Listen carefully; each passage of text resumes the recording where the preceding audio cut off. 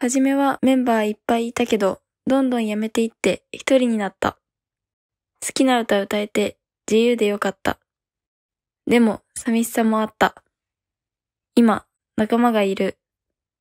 笑い合えてすごく楽しい。アイドル、やっててよかった。メディア特別オーディション2024春新メンバー募集開始かっこよく輝け